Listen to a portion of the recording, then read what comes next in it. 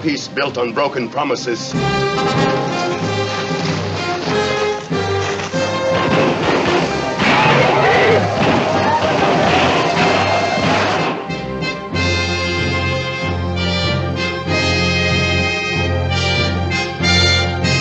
What are you afraid of, Major?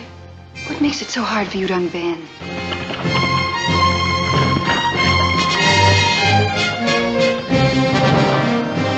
Stand back! This man's a military prisoner. Call him anything you like, Major. He's a murdering savage. Let's get him, boys! Come on, let's get him! Slice your pie any way you want it, Parrish. But remember this. I'm the one who's lined your pockets. I'm the one who blocked statehood by keeping the Indian wars alive. This never would have happened if they'd obeyed my orders. Wouldn't it, Major? Just what do you mean? You wanted war from the beginning. Well, you've got your excuse. Rat!